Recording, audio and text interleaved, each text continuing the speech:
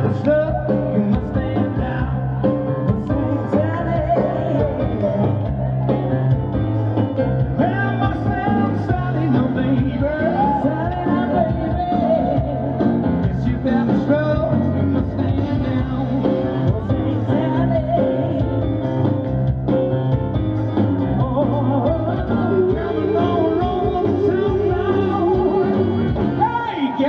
got a free flat on the ground.